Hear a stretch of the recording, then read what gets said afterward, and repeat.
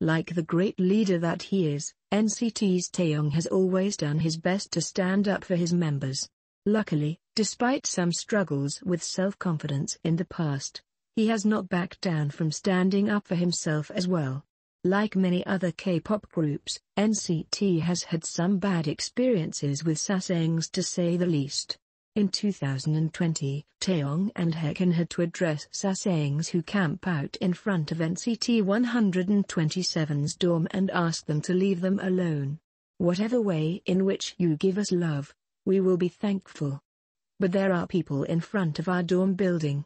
Not just for the nine of us, but the NCT Dream Dorm as well. We are so stressed about this and to be honest, it gives us a hard time. I know that you will still come even if I address this. We have directly requested you not to so many times. It's okay for us to be uncomfortable. This phrase is such a weird one, right? In a space meant for rest, we want to be able to do so and eat and play amongst ourselves. Despite this, you make us uncomfortable and have a hard time. We know that you do this because you like us, but no, actually, if you like us, I can't understand this even more. The situation with stalkers outside their dorm had gotten so bad that, according to a neighbor who moved out due to the situation, sasaengs even caused a minor accident involving a school bus in the neighborhood. After she moved out, tenants were unwilling to take over the vacated home. Unfortunately for the members, their encounters with sasaengs actually went even further. In 2019, it was reported that sasaengs had actually managed to gain entry into NCT 127's bus. Since then, the members have continued to face harassment. But they have made NCTians proud by responding savagely in kind.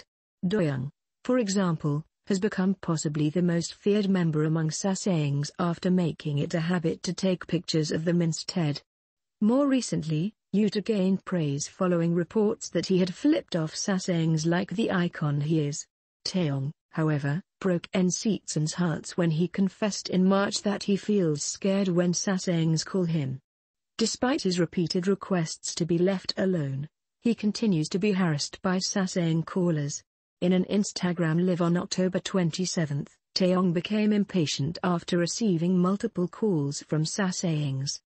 It got to the point where he admitted it was making him feel rather stressed, and he called them out for being selfish people. NCTians were upset that he had to go through this experience yet again, and are hoping that SM Entertainment is able to do something about the issue, although keeping people from calling is a difficult thing to do. Luckily, Taeyong and his members know how to stand up for themselves, though fans agree that they shouldn't have to.